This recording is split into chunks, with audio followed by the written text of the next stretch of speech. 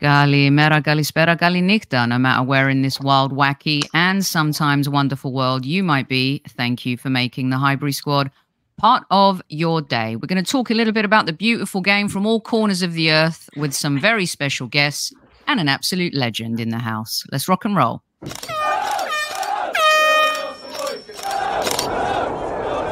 Mind the gap between the train and the platform. Please stand clear of the discussion doors. The next stop is Highbury Squad.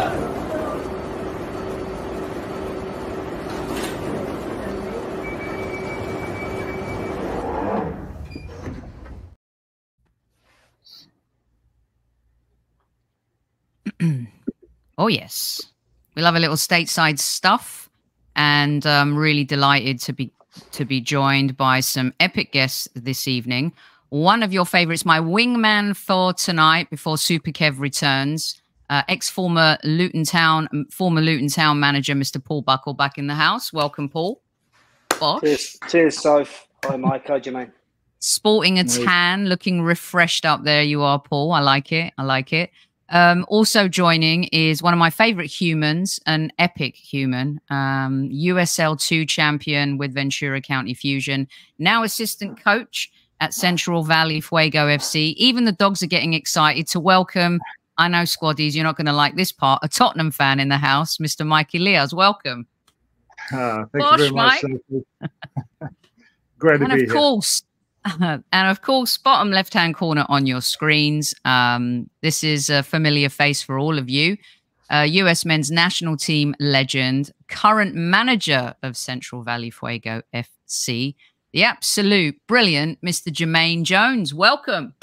Bosh. Thank you. Thank you for having me. Well, we're delighted for you to be here. Here's how we're going to rock and roll this year. And of course, squaddies, welcome at ease. Uh, we salute all of our listeners. Thanks to those of you who are joining us live. We've got our chief like officer in the house, Tammy Steels. Don't forget to hit those like buttons. We've got Trevor in the house. We've got PW. Carol is here. Um, we've got Tom in the house. Uh, Mark's here. The whole Jam fam is here. Um, and uh, thank you so much. We like to do our stateside squad shows. The beautiful game is growing here. I'm going to start off um, with with Jermaine because Jermaine, Paul and I have talked about this a lot. Super Kev refuses to go into management. He says that he's happy looking back on his playing career, but management isn't for him. The transition from playing and going to coach, how have you found that? You know, um, I was similar. I, I when I when I played, I said always I, I never will go into coaching, and I stayed. I wanted to stay away so far, but um, you know how sometimes life is. It comes around, right? So I when I retired, I was like for two, I was like almost two and a half years. I was, I loved it driving my kids to school and being a the soccer dad, sitting outside and watching my kids play. And and um, but then something, you know, something was missing. And um, I tried some other businesses and tried to do some stuff, but somehow I fell back into coaching when when I started doing all my license. And um, and then I went overseas back to Europe, um, stayed in Belfast to do my license and um and met a lot of guys or played with or played against and um in in the moment you you have this locker room coming back the locker room feeling and the, the soccer conversations and all this stuff um I felt back in in in love with the with the game but um but this time I felt more in love with the game about like um I would not say that and I say this always to Mike it's not about the training sessions on the field it's more, more about the player management understanding the player and how can you make the player better even without touching the field you know so and that's mm. that's the stuff what makes me um, really interested in, in coaching mike did you were you guys did jermaine do the bat his badges with you when you were at ventura county? Is that how you guys met? Is was was yeah. that your in? Yeah we actually met on the b license with uh, ussf um, uh, over in kansas and just built a relationship from there really and you uh, joined from USL to you won the championship with Ventura County, which is amazing, an incredible achievement. What enticed you to leave a role where you were head coach to go as an assistant coach? Of course, of you know Jermaine's absolute legend. But what what what motivated you to make that switch? Well, first of all, when I met Jermaine, um, I appreciated him as a human holistically. Uh, he's uh, the way he's as a man, the way he thinks um, is is top draw. And to me, to be honest, I got the call from Jermaine once he got the head coaching position at Fuego, and it was a no-brainer for me. Uh, you know, to learn from one of the great great players in in US, who's done it all. You know, he's played Champions League, World Cup for his country. Um, he, he's seen it all. So to learn from someone like Jermaine and to be a student of his, it just goes on to my development uh, in my path as a coach. And Paul, you've managed at Sacramento Republic as well, and also on the other side in, uh, you know, back home in in England, Luton Town, uh, among other clubs.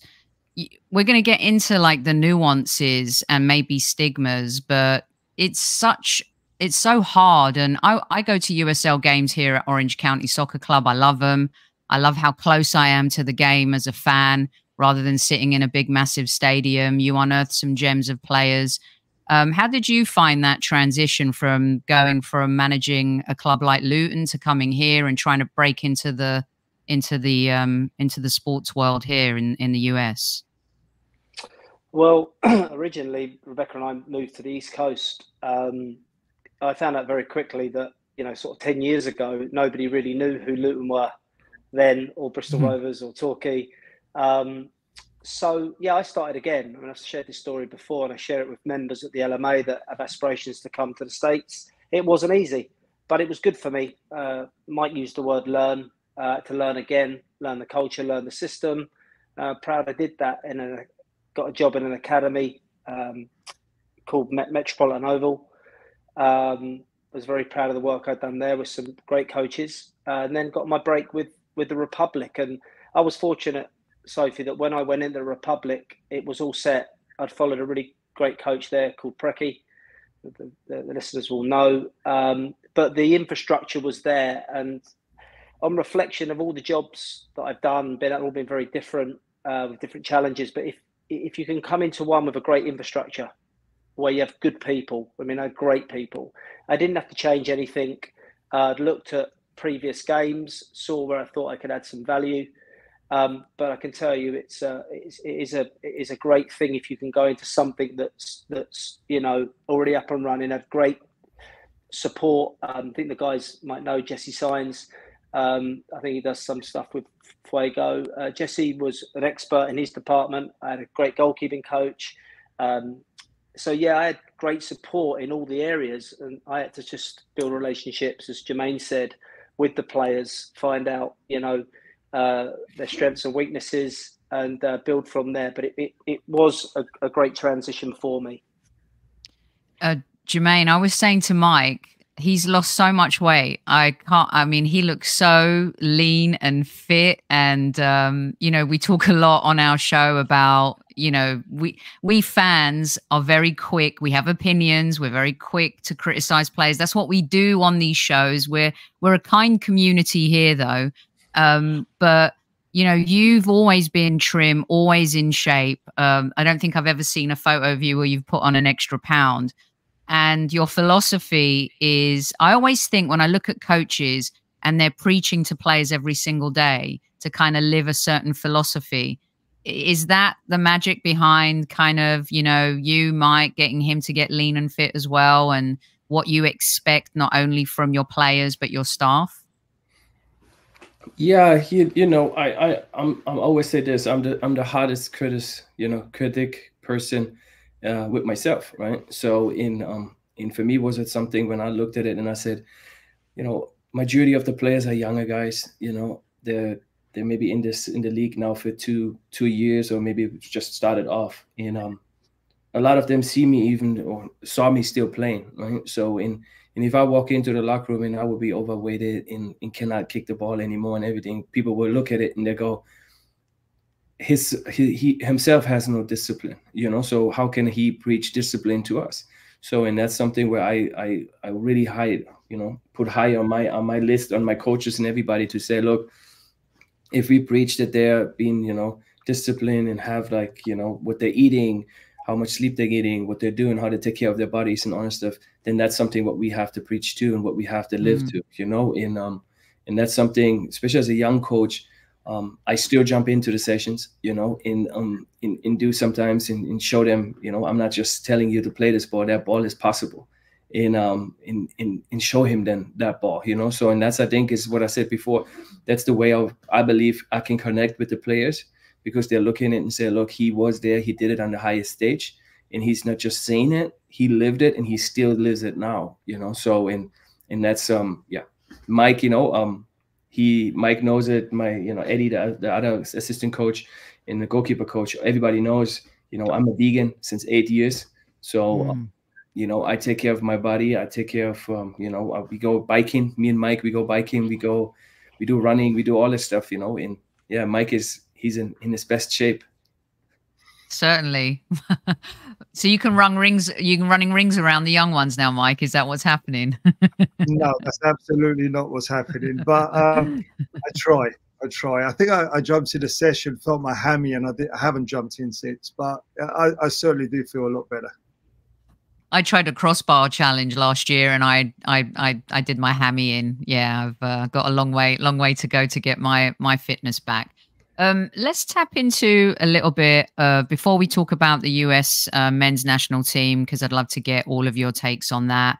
Um, I do want to talk about the differences of USL, MLS, and in particular, I've been a massive fan of the US Open Cup since I moved to America. I think that's because it's the closest thing here um, to the FA Cup and also one of the oldest competitions. I think the Stanley Cup might be the um, the oldest, um, and then and then the U.S. Open Cup in in sports. Paul, you grew up. Mike, you you grew up. I know uh, Jermaine grew up in you know in Germany um, with the Pokal and a whole bunch of other tournaments that are really cool and connect fans. Uh, Paul, U.S. Open Cup, you played. Uh, you were manager at Sacramento Republic. I think a little bit like the FA Cup, it's trying to be diminished. The decision to kind of pull teams this season, uh, sacrilegious in my opinion, uh, and I I think a lot of fans are up in arms about it. I know Seton O'Connor from the Dan Patrick Show. Um, we've talked about that, and he's made it very vocal about his support for US Open Cup. What's your take on what's happening with that particular tournament?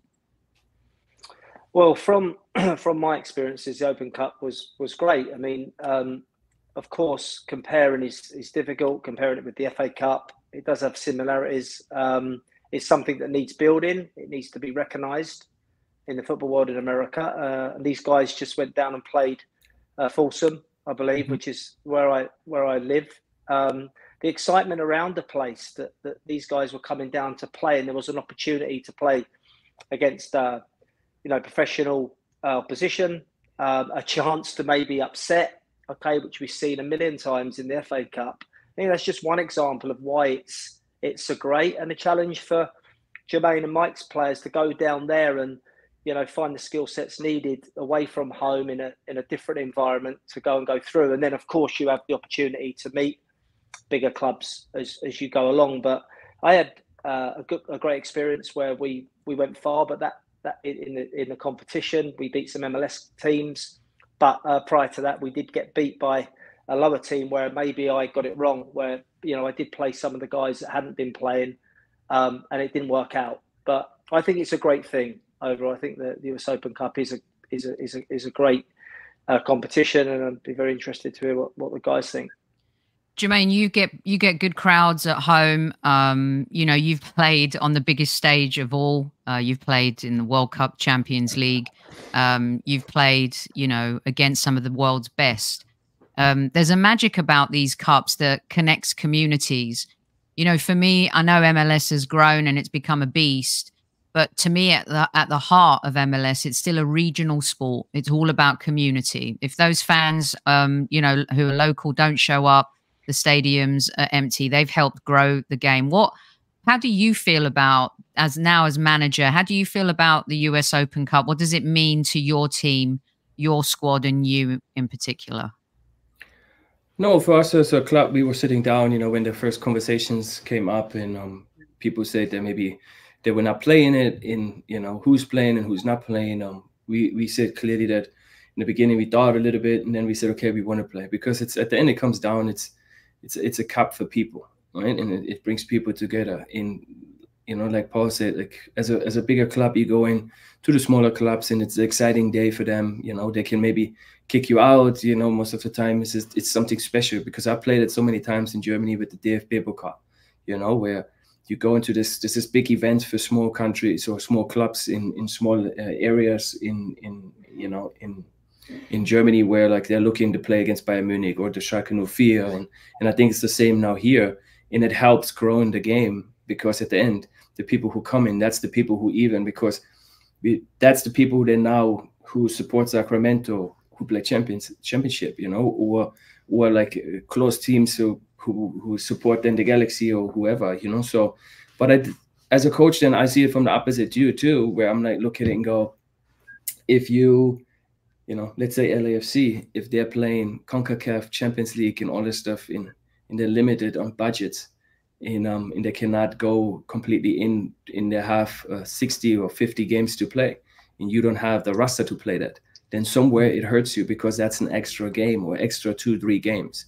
So in and that's something too as a coach you look and you say, okay, how much budget I get that I can actually pay as or get as much players in. If I have a, in Germany, I said with Schalke, you, you have a 35 man roster. Of course, you you build for three competitions, you know, and then even players play national team and everything. But if you don't have that, that can hurt you on the on the run then in your own in your own league, you know, where you have majority. You're saying, oh, we want to let's say win the, the, the, championship now, let's say with Fuego here in League One, but if we play in, on the road on Wednesday innings and then we get our top guys get injured, that hurts us then in the long run with the with the with the with the league game, right? So, and I think that's mm-hmm. that's the majority why a lot of teams, especially from MLS, said, okay, we we have to pull out then. Mike, you know, we talk a lot on our show about the impact more games have on players and that hap- that's happening at every level now jermaine's talk you know talking about you know making decisions based on how does that going to affect the team long term? You know is that going to diminish our ability to win what's important which is you know the title? We see it and squaddies for those of you who showed up a little bit late or those listening on replay don't hold it against mike. He's a spurs fan. He's a really good guy though. He's he's one of our good guy Spurs fans um, that show up when we talk North London Derby, like uh, Ricky Saxon, Chris Cowlin, and Anthony Costa. Um, Mike, you saw your club win the FA Cup. You haven't seen them win something in a long time. I had to get that one in. Um, oh, but, but but what does what does it mean to you, having come from England and you know uh, been through the ranks and now here, and and what what does it mean to you, and and how do you feel about the bigger clubs kind of pulling out and and pushing away from it? Well, I think we've seen even in England. I mean, I grew up. The FA Cup was a, a, a marvelous thing. You know, something that you, you kind of if you couldn't go to a game if your team wasn't in it, um, then you would watch it on TV. And there was a big thing about it from morning to the game and then afterwards. I think even in England, the FA Cup's diminished a little bit as well um, in favour of maybe so called bigger competitions in Europe, for example. Um, but I think it's so important to have some of this and really echoing from what the guys are saying as well. It, it, should be romanticized a little bit as well uh, it does offer underdogs a chance to pit their wits with the with the bigger teams. And what we can't forget as well, he also gives opportunities for good players playing at the lower leagues to actually show what they have. Uh, and it gives them a platform to actually perform and hopefully climb up the ladder for them uh, career wise as well. So I think it's such an important thing. I think, you know, the bigger clubs coming out of it this year is is a shame. It's a real shame. Mm. Um, and you know maybe that's something uh, that can be looked upon. You know the reasons why. You know, th- th- there's reasons for everything, right? But uh, the reasons why I think it, it's far outweighed by, you know, what the Open Cup has meant in, in the US. Considering the US is a is a fairly young market still, you know, I've been here for about 25 years and seen the US change dramatically soccer wise. Mm-hmm. Um, but it's it is a shame. I mean, I'm I'm pretty sad about that. Yeah, I remember when I first arrived here, it was you could find a game on Fox Soccer Channel, and uh, you know if you missed it, you were shit out of luck. You know that that was that was it. Uh, and now, to, I I do think though the European coverage of the game has helped grow it here. Paul, do you do you agree with that? Um, before we get onto a little US men's national team stuff in Europe football, let's talk about that because I think the the the Premier League in particular, Bundesliga coverage. Um, I think ESPN do a great job with Bundesliga. I think it's as exciting as the Premier League. Uh, we're seeing one of the most, the craziest races. Um, what Leverkusen are doing there. We'll get Jermaine's take on that in a sec. But as well as what MLS have done, um, USL to me, it's like it it's growing and growing. I've seen crowds just get bigger and bigger at Orange County Soccer Club. They did a great thing where they offered um, fans to become uh, part owners. You know, hundred bucks, you can you can be an owner. Uh, a little bit of what we've seen in Europe too. What's your take on the growth of the the game here? The World Cups are the reason. Um, is it MLS? Is it the European game? What's your take? You've been here long enough to see the trajectory and the evolution as well. Hmm yeah, obviously the Premier League um, was obviously the, the reason so if we come, as you know, with Rebecca. Uh, that alone, the growth of the Premier League out here has been massive. I mean, you take uh, FanFest, for example, in Nashville. I think they've sold 20,000 there for that that um, FanFest where people come, you know, they put a great event on, uh, Premier League fund it. You've seen the Premier League come out for the summer series with the teams. I know that was a brilliant experience for the managers of those clubs that come out. You know, I, was, I spoke about this before in England. You know, you can hardly do anything at times. You know, publicly, but there was a, there was a freedom about it. There's a different culture in the in the United States compared with Europe, and I think it's refreshing in in many ways. Um, I think ESPN have done a great job with uh, USL. I thoroughly look, yeah, uh, you know, good point. forward to the games. Um, Mm. It's it's excellent if you're in a club in England, and say say you're at Southampton, like I was, and you're doing the exits, for example, you can show some really great footage of what USL looks like, you know, and and I think that looking at it from it, it, with that lens, um, some of the, the players in in England that are coming out of the Premier League, the young players, some of them are not good enough. So to make it in the USL Championship, I but I can't speak for USL one but you know it's very good. Um, there's some fantastic players in America. Um, the Fusion, um, as Mike would know, have, have had countless players come out of there good enough. And I think um, to to Mike's point as well, the Open Cup. Go back to that. You can then get to scout these players in such a huge country. You can get to see them, but yeah, the growth of the game's been astonishing, and I don't see it easing up. I mean, I see how busy uh, Rebecca is in, in her industry with the Premier League. Um, and of course, you've got over 50% uh, ownership now in the Premier League and the EFL in England, uh, owned by Americans. So, yeah, I, I, don't see the growth of the game stopping at all. Mm.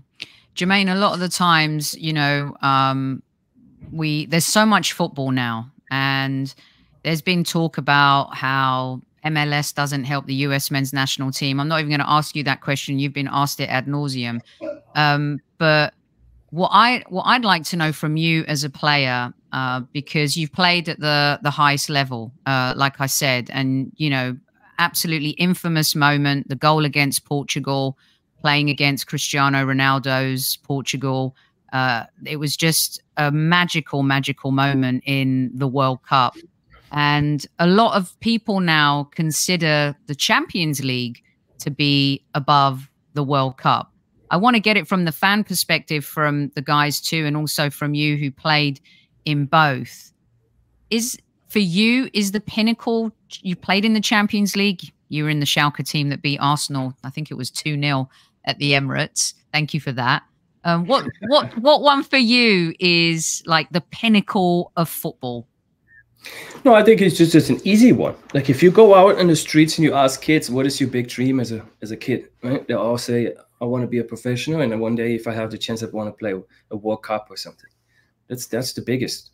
That's the biggest party in the world. Um, Champions League, of course, is something special, but still on the club level in president to uh, go out to represent your country it's it's it's always something different. And you you just know in you know how everything's prepared how you travel over there then you go to the stadiums. The whole world is watching. Even guys who who be playing professional and not making the roster for their countries even them watching. So everybody is watching that tournament. So I think the nothing can compete with the World Cup. And um, I understand the Champions League is something where you have, you know, the best players in every club's playing, you know, season for season against each other. But it's like even too when you look at the, the beginning stages, some of the games are not interested, right? And then it comes to mm. a stage where now it gets interested because you see the best coaches against each other, you see the best players against each other. And I think it's the same with the World Cup. I think it's just the World Cup is you have to wait every couple of years to get it again. And it's not every year. I think if the World Cup would come every year, then I think it would be the same where people would say like it's it's nothing special anymore. So and I think so the World Cup is for me, for me was I missed two. So and when I was able then to go for the one, um, I, I it was a, a childhood dream came true. And then to score in a World Cup. I mean, you know, sometimes people joke it's better than chocolate, it's better than sex, it's better than all these different things, Jermaine. But not only did you score a goal, but the significance of the goal. I can't imagine, other than maybe having kids, you know, um, it's the most insane feeling you've ever had in your whole life. Yeah, no, it, it was, you know, for me, what I said, I, I missed, you know, I missed the 2010 World Cup with a with a hairline crack in my shin. Um, in one one month late to to make it. Um, and then when that came, you know, the 2014, a lot of people don't know, but I I played in the beginning. I, I just moved to Besiktas Istanbul uh, six months before the World Cup started, and um, and I started getting pain in my hernia. And um, and, and I went to the doctors, and they told me that um, I had a double hernia, and I needed surgery. But so now we said there's there's two options. You do the surgery straight away. We don't know if you get fit to the to the, to the game is starting, or you go with the pain and you get through the World Cup. So, and I said, okay, let me go through the World Cup and play with it. Um, but again, the anxiety, my my kids were there, my you know the the people around, the, the atmosphere, a kid's a childhood dream comes through. Uh, I'll be honest, I don't feel the pain. It was just excited. And then, mm-hmm. you know, people talk about Cristiano and like in, you know, I saw him playing against him a couple of times with Champions League and everything. But um, you know, coming out of a group uh, where everybody said the group of death with Ghana, Germany, and in Portugal um, was then something, you know, where scoring is always, you know, you in the in the books of history. Then to score in a World Cup, that's not just a scoring for your country; it's scoring at the World Cup, and that's yeah.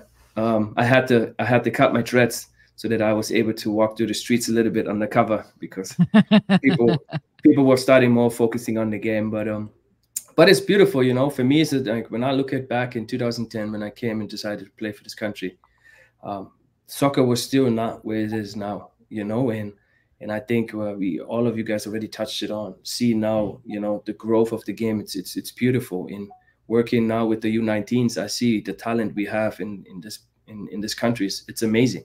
But then seeing the growth outside, how people and I think the biggest push what was the change is that social media opened up a complete different platform, you know, because the American mm. people they had just their eyes on an American market, in there was the market was just like the women's side were achieving more than the men's side. So, and people were going away and they like the basketball and they like the American football. But uh, the moment that that opened up with social media and everything, we're able to look, oh, there's a market, a big market overseas too, and they're famous too, and there's something going on in in then Europe guys were seeing, oh wait a minute, let me get a, a, my branding in the US, you know, and you see the the Paul bars and all the people coming over, the superstars.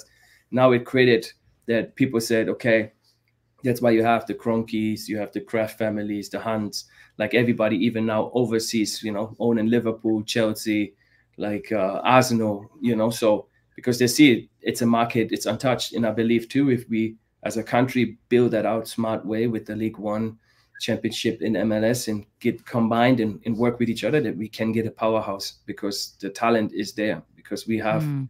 such a such a big market we can we can grab players from and we just have to you know be on the same page uh, Paul, just to touch on that real quick before I get back to the Champions League question with Mike, I, Jermaine brings up a really interesting point because for so long since I've lived here, there's always been this discussion of promotion relegation will never work in the US because of the sports model.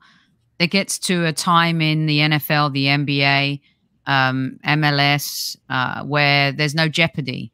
Um, you know, uh, I like even the playoffs for the relegation spot in in some leagues in Europe. What do you think about what Jermaine just said in terms of having like MLS Division One, Two? Do you think there'll come a day where relegation promotion will be embraced, or do you think there's still a way to do it and have jeopardy? I'm not quite sure if there is without the promotion and relegation part.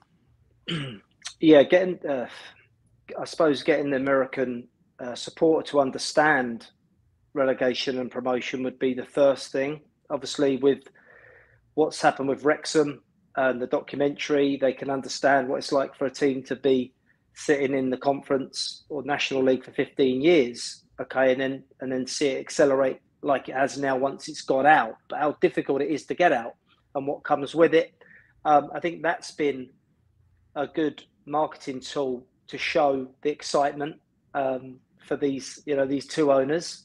Um, as they said really and truthfully they've never felt anything like that you know especially the way it went you know, in the playoffs and the semis, and I and I've been a part of that a, lot in my career. And there's nothing there's nothing better than going through the playoffs, right? We we got that from America, so I think in terms of uh, relegation and promotion, I can see it in USL now. I could see USL uh, buying into that because they do have the, the tier system. Okay, they've got a pyramid, a good pyramid um, now, and I'm a, a great advocate of USL.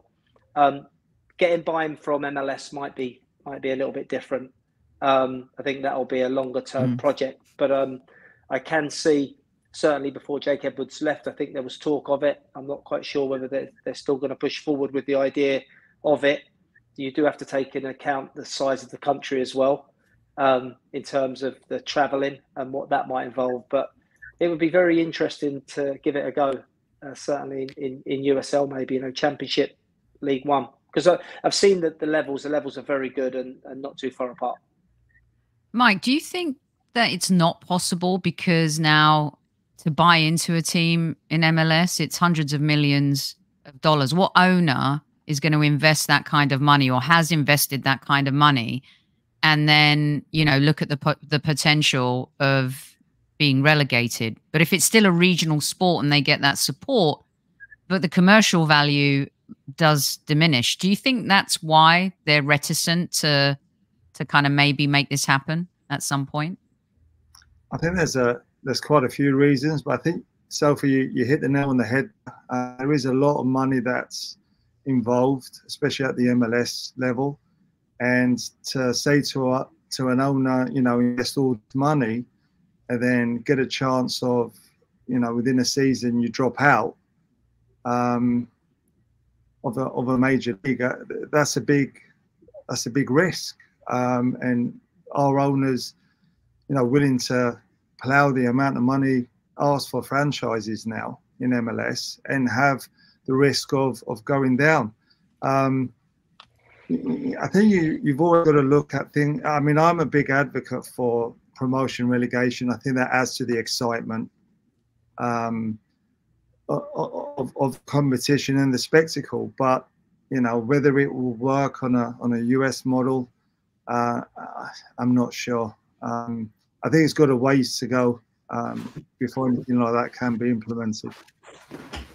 Yeah, interesting. I, I think yeah, I, I think if it's hap- if it's something that's going to happen, it's got it's going to be years and years down the line. And I tend to agree, agree with Paul. USL certainly has the setup, and I think you know now with ESPN broadcast money, more money coming into it, but still, Jermaine, to kind of go from, you know, you played for Schalke, Eintracht Frankfurt, you've been part of the US men's team, um, you were part of big teams like New England Revolution, LA Galaxy the money in USL? Uh, is it something that is improving? You know, we've definitely seen the club I go to watch, Orange County Soccer Club, had a record um, sale to a team in France uh, last season.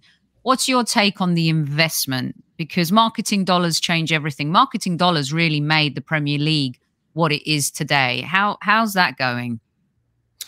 I think year for year you can see that um, you know, USL is is getting bigger in you know in um i think it's like now it's like it, it become the tricky part is like with the traveling. I think that's the tricky part. Even if i look in with us now right when we are playing over in on the east side we we, we almost take one day to travel.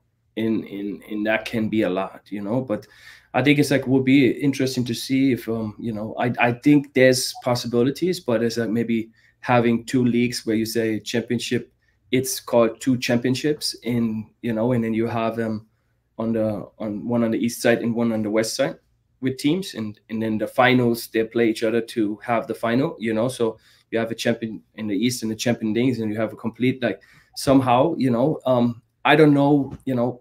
I hear too that the problem is with relegation and promotion. It's just like i think it's from from day one because i talked with somebody um, i think a week ago and he asked me about the same. And i said if i look back in germany we had um, red bull Leipzig or Hoffenheim came in, mm. but they mm. had to start in the fifth league. You know, and both owners said, okay, I have no problem to invest in the five, fifth league because I, I'm able to spend the money I want. And they will run through all the leagues then because they have just the money and they put the money behind it. But they still have to start on the bottom. So now you can say, on the top, if you're on the top and you don't, you know, play good, you can go down again. But if you buy yourself in, you know, if that takes at the end, if you buy something that gives you the, the the way to say i'm selling it whenever i want to sell because i bought it. You give me a price i pay the price and now you you know you cannot take it away or put me down because we playing that good and now i have to invest again because that's just a business and and i think um you know but i i, I look at always the, the way and i say the credit to mls because i believe mls was a big a big part of this in this country to help the, the, the game growing you know? And we're talking about numbers they're they're they're, they're fa- fantastic for MLS and they're crazy if you if you hear them. But it's something what you know Don Garber and the people and the owners they build out, and I think USL is now coming in in um, step by step building something out too. And I think for the fan, for the people around the, the game, I think we all would like to see um, promotion in relegation at one point because I think it's just the fire. It, it, it gives you something in the game. So, and um, but yes, it, it would take time because people have to sit on the table and and and yeah, go to risk to lose a lot of money if it comes to the point. Um, we'll switch gears a little bit here and start talking a little bit about what's happening this summer. It's we got the Olympics, which I'm sure Paul you'll be off to. Um, Rebecca's going to be hosting the Olympics again on uh, on NBC with the great team over there. Um, Mike, we've got the Euros. Um, unfortunately, Greece, our Greece lost on penalties uh, last night to Georgia. Congratulations, Georgia. Yeah, blah, blah, blah, whatever. um, and uh, there's always England to root for, and we pretty much know how that's going to go. Jermaine, Germany um, are looking much better than they were. And Jermaine, the US and Copa America as well this year. I mean, there's more football than ever. I'm not saying there's too much football. Uh, but Paul, let me start with you. We're going to have Copa America here in the summer. I cannot wait. I covered it in 2016. And Jermaine, were you playing in the 2016 tournament for, at Copa America? Were the you you were, weren't you? Yes. Yeah. Um, we've got Copa America. Some of the biggest and best are coming here again. The World Cup in 2026. Like Jermaine said, the women's team kind of, you know, I think have totally transformed the game for women. Um, they're now, uh, you know, they found some tough love in Australia. Emma Hayes is going to come here and whip them into shape, I think. A lot of football. I mean, America is the place. And I remember in 94 when people were poo pooing the idea of the World Cup being here. We just had John Harkes on the show a couple of weeks ago talking about that and how he remembers being part of the US team and people poo pooing it. And they were worried if anyone was going to show up. I don't think that's the issue now. What is your take on this current team in the US? Um, beating Mexico, dos a cero again, very pleasurable. Uh, what is your take on the US's journey and how do you see them coping against some of the biggest in Copa America this summer? Well, I think as Jermaine said there, he's working with the 19s and the talent is here, right? So, and and to to your point there about the, the football and how we're viewed now, and I say we've lived in the country nearly 11 years, it's, it's night and day. Mike's been here a lot longer than I, but it is it is night and day now how we are viewed in America by certainly uh, England. I can speak about. I mean, just through the amount of uh, calls I get uh, working with the LMA now and the interest from some, you know, top top coaches that, that want to come to America. They don't know an awful lot about it, but that's my job. But yeah, they they take they're taking it very seriously, and certainly the men's national team, the the women's team, the growth of NWSL, which I've been part of, um, is fantastic. So I, I, I would say that the the growth of the game in, in our country now is probably the fastest in any country uh, of growth.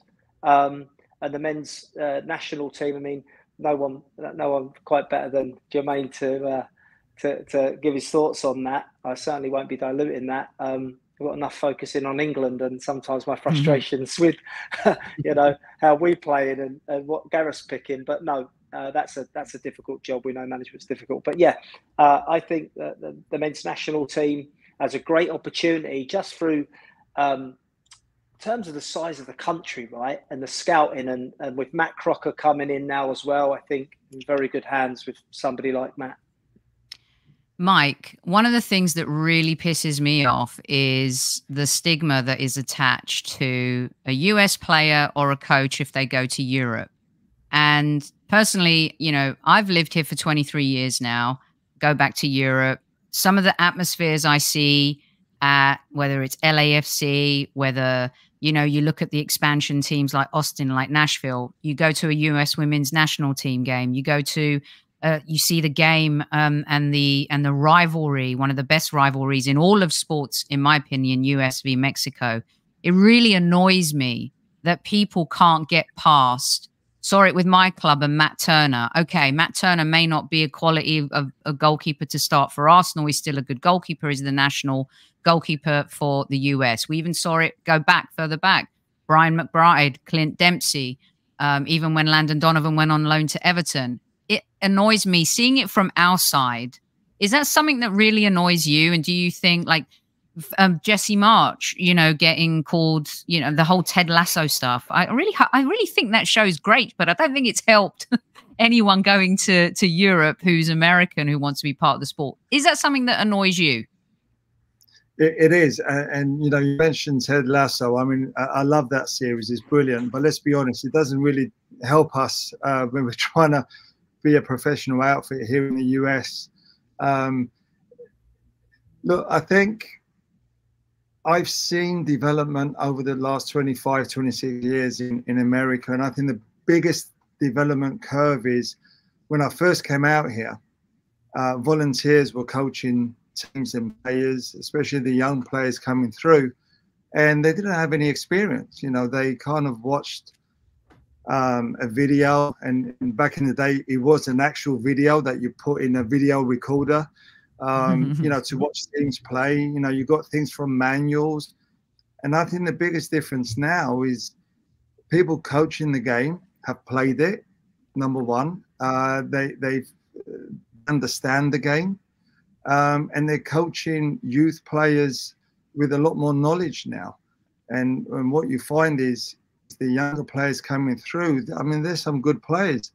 I know um, Jermaine spoke about the U19 national team when he was there and he saw the talent. And that's because I think of this uh, process of there's more soccer minded people in the game now, whereas 26 years ago, it was just kind of a fab. You mm. know, it, it was um, the women's national team certainly put soccer on the map in America for sure um, and then it's just kind of evolved and taken off from there. But I'm certainly seeing a lot more, you know, better quality of youth players coming through. I mean, one of the things I done at, at the Fusion was we we had a US SL Academy team and we had a an MLS Next program as well, and and the level of play will be comparable comparable to youth in, in England, uh, as it were. Whereas years ago, th- there was just a huge void. There was a huge difference in the two. So I think the mm. gap is definitely closing.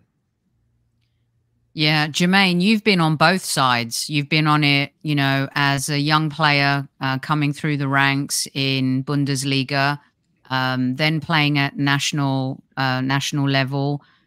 Um, what's your take on this current team? Because one of the things that you know annoys me is I think some people tend to forget some of these players are playing for some really big teams.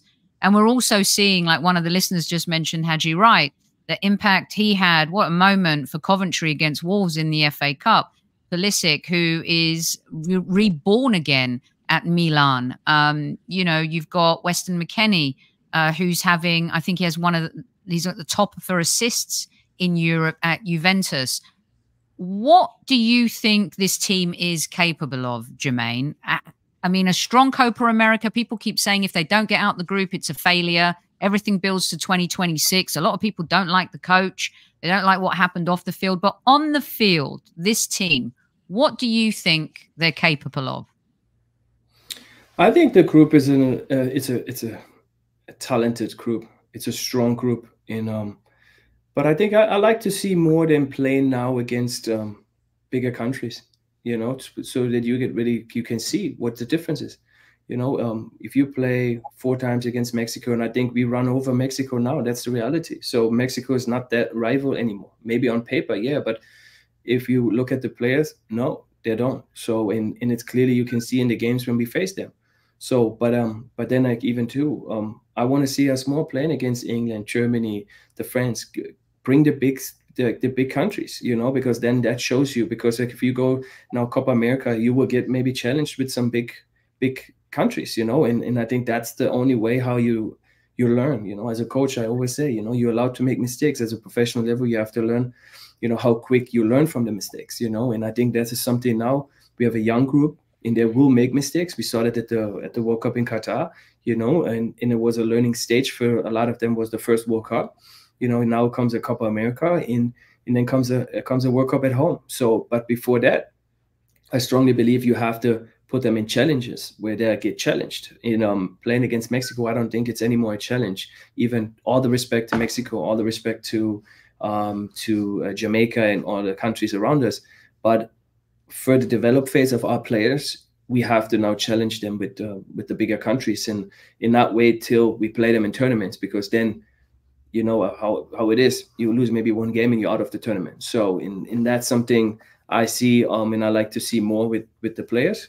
In but I individual when I look at the group, I think we have an amazing group. In um, in in look at you know the players where they play now um speaks for themselves. You know in um in they're all young still. And what I said before, the, when I look at the U19s, um, when we were with the U19s with Marco, the head coach, um, we went to England and we beat England even 4-0 and everybody was shocked where we got the talent from, you know, because every the players we played, all the guys on opposite, they played for Man City, Liverpool and Chelsea. And then, you know, our kids were still in in in uh, MLS Next and in all that stuff. So in, in in nobody know even some of the players would joke with our players like, "Where you playing? Oh, Dallas. Where's Dallas? Oh, I come there when I retire." And I was like, "Man, you're not even made the first team for, for for City. You know, even if you make the first team, but but that's the reality, you know. So and I think if you look at the outside world now, um, I I say this always: the the respect goes to the guys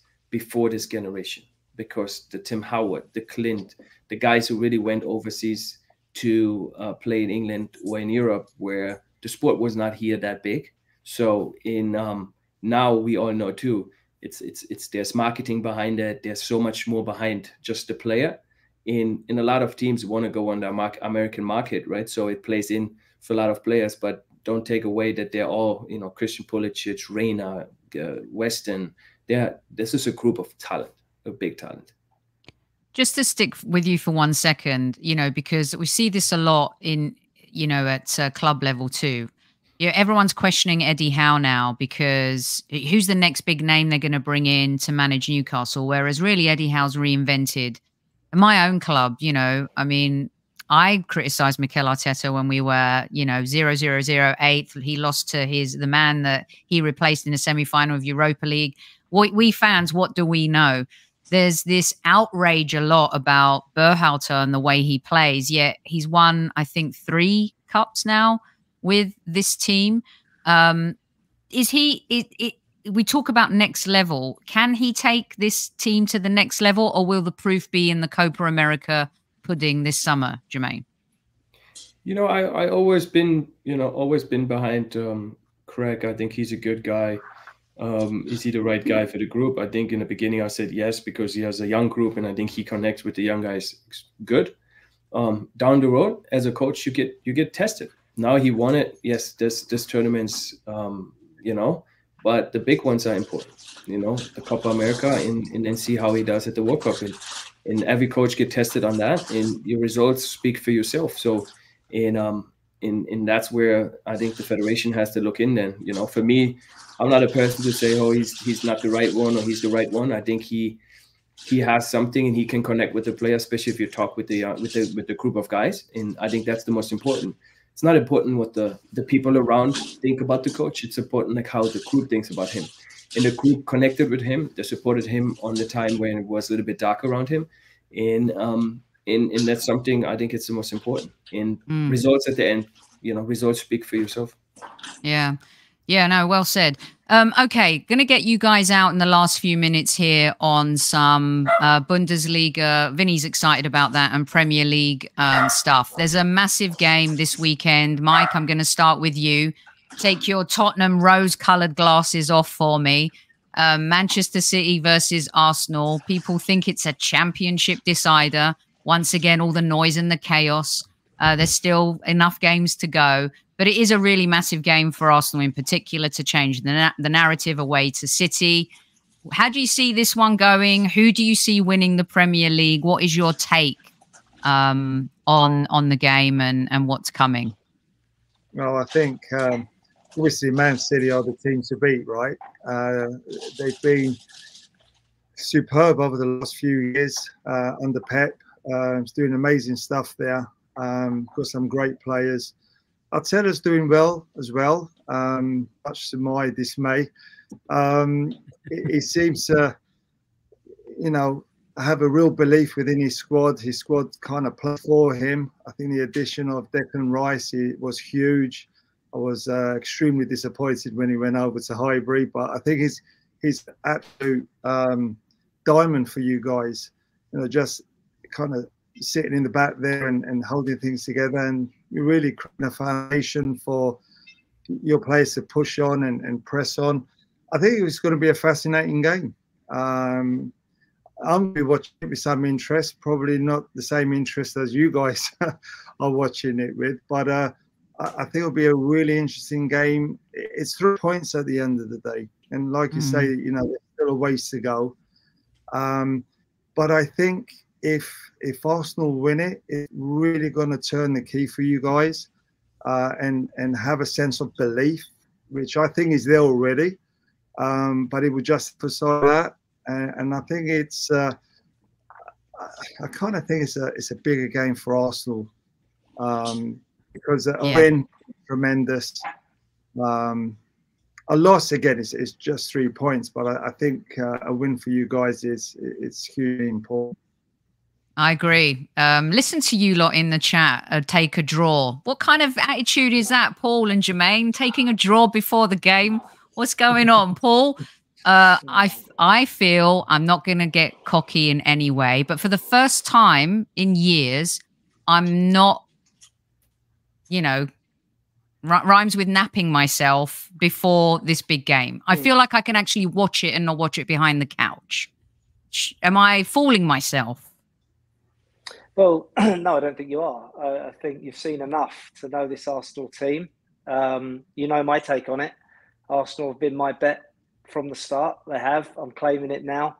Um, and I think I think when you look at it, you know, through you know manager and a coach, there's a certain determination about this Arsenal team now.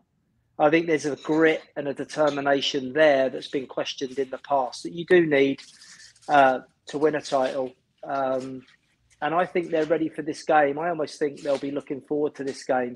And that comes from belief. The guys would know that comes from within. I think Arteta will be looking forward to it. Um, and I think they're in a great position now to, to, to beat City. I don't think they should be settling for a draw. Um, I'm not taking anything away. Obviously, what Pep's done has been amazing, but you do have your time at the top. And I think if Arsenal are, uh, ever going to do this, it's right now. And I think as professionals, you can feel it, you can sense it. Um, I think if you look at, I think John Stones got injured, didn't he? I'm um, not sure if he's going to make it. They're all going to be fine, Paul. You know, Kyle Walker well, will be fine. Stones well, will be fine. They'll all be fine. Just like Harry Kane, he'll be fine. You know, when we face him in the in, in Bayern Munich, um, we'll get Jermaine's take on that. Uh, but yeah, they'll be fine. That's what happens. Well, well, well yeah, okay. If, even if they are fine, I think those players they have done it.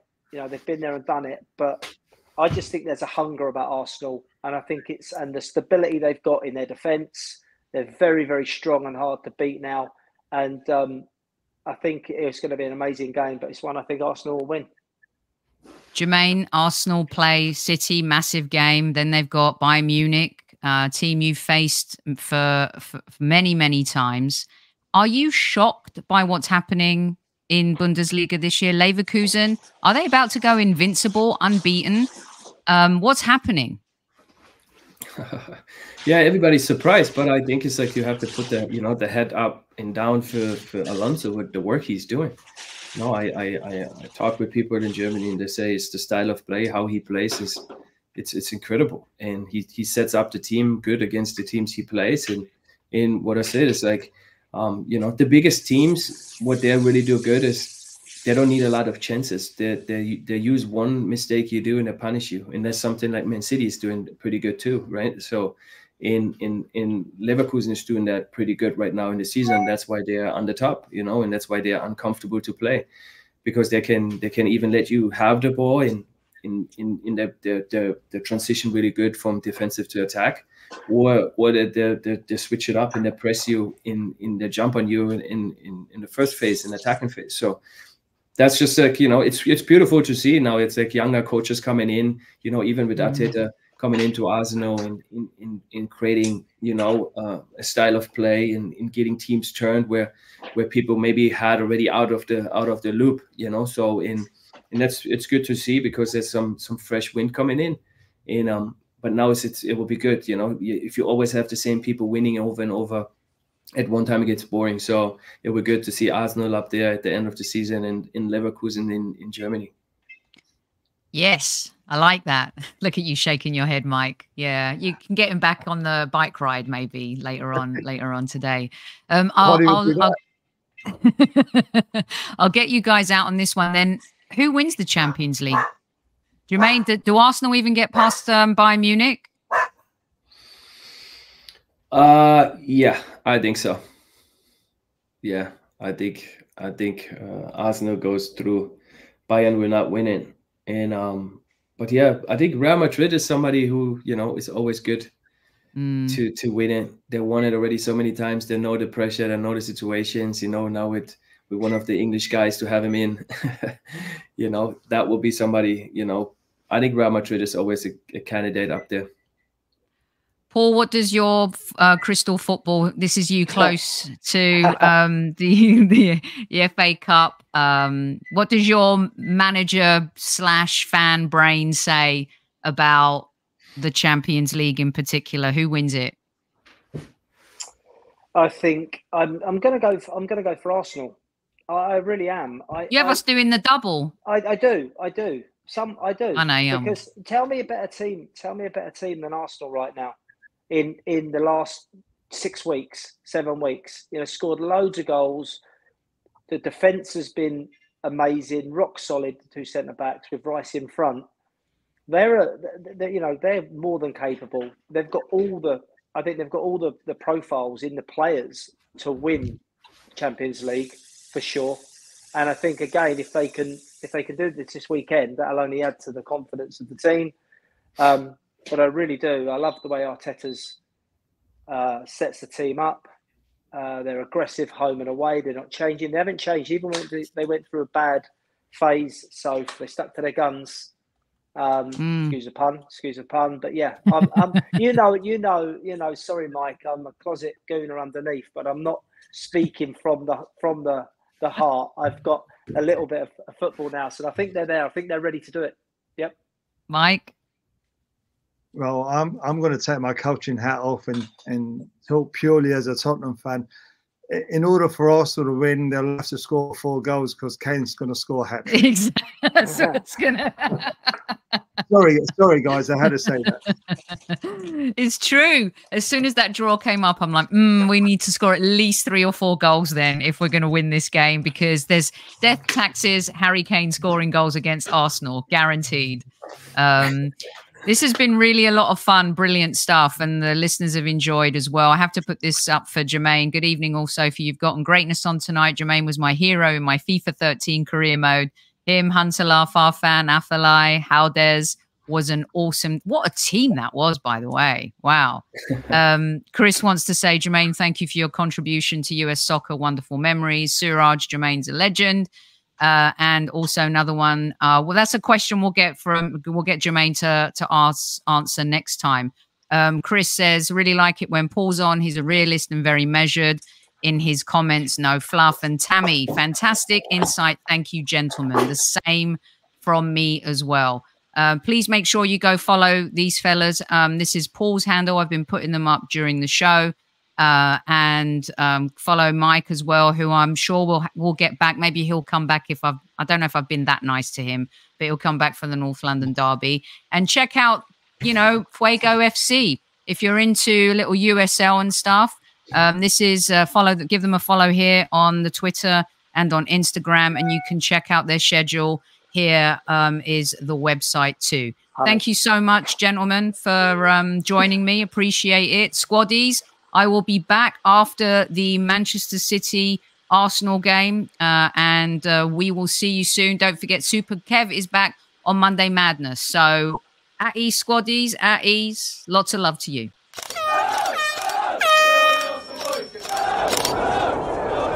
Mind the gap between the train and the platform. Please stand clear of the discussion doors. The next stop is Highbury Squad.